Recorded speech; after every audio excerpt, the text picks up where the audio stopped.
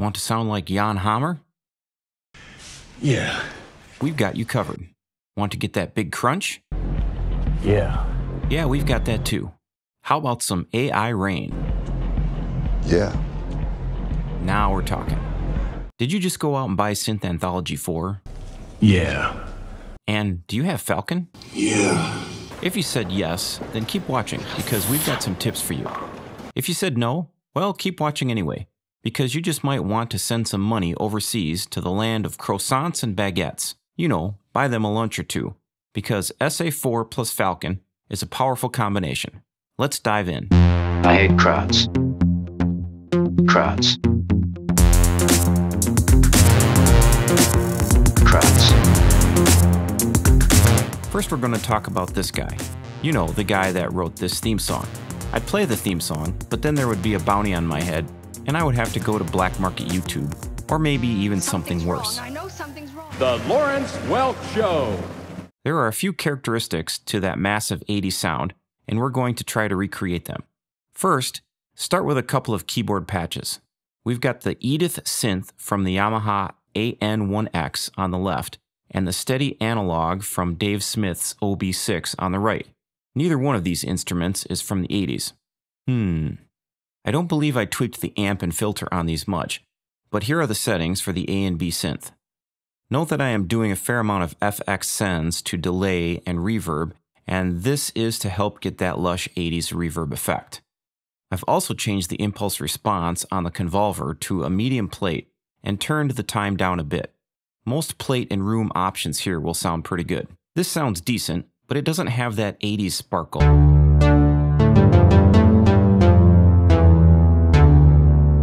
This is where Falcon comes in. Since Mr. Hammer used an ARP in his 1984 masterpiece, we're going to try out Falcon's Ostinato ARP. This is located under the layer section. Go to the event strip and hit the plus. The ARPs are under the script processor scripting pull down section. You can play around with this a bit, but the settings I used are a combination between a 1 quarter and 1 16th speed, with a few adjustments to the Euclidean section and the probability of panning and spread. Note that you will need to go into the List tab here and change this script under both the A and B layers. They don't have to be the same, but turning down the speed on most of the four ARPs is recommended. If you've never seen an ostinato ARP before, you can get an idea of what it does by turning all the layers off and then turning them on one by one. With all four, you get this lush chorusy type effect, especially when you make these slight changes.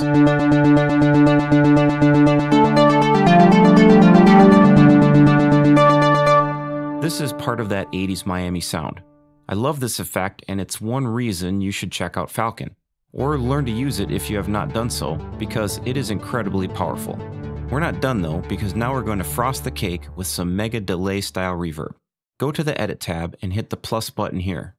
Add the Dual Delay X with the Warm and Big preset, and turn the amount down to around 25%.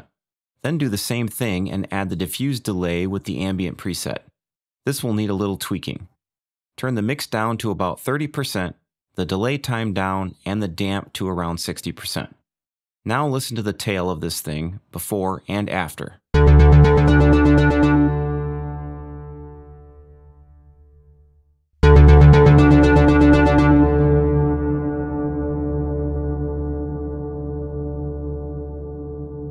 That is so incredibly lush sounding, and what a difference the right effects can make.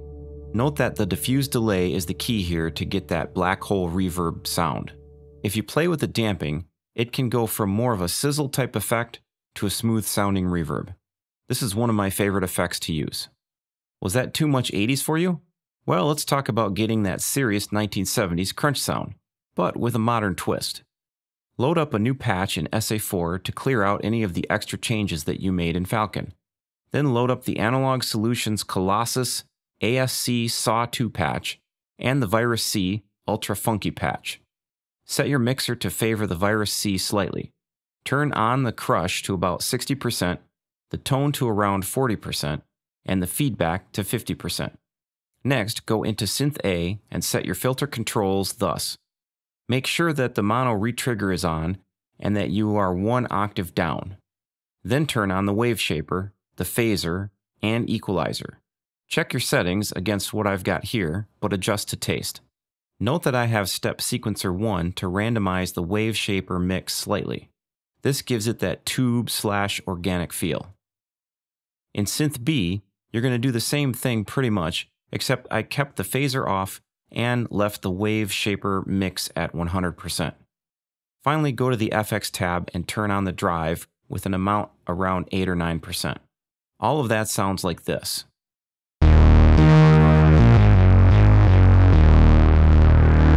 Not bad, but here's where Falcon comes in. Go to the Edit tab and hit the plus on the FX bar. Pull up Analog Crunch under the Drive slash Distortion section and use the Honest setting.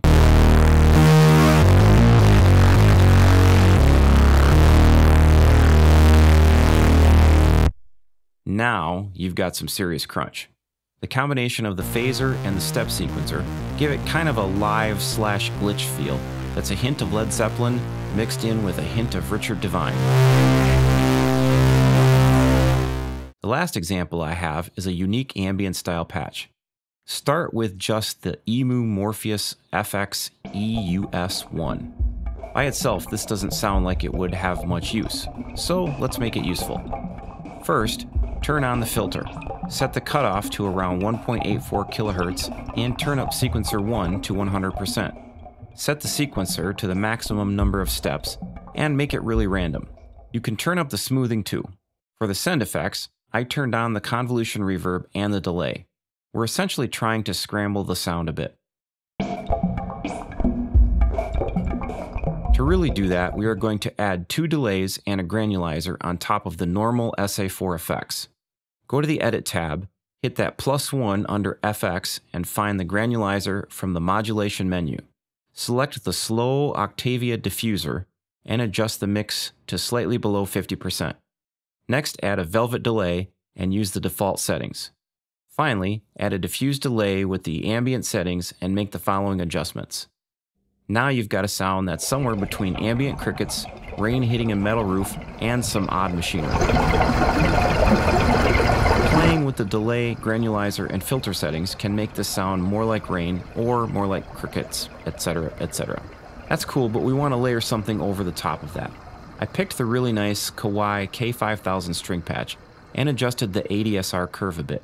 Used the convolution send effect and turned down the Morpheus while turning up the Kawai. The result is a very ambient and interesting string patch. You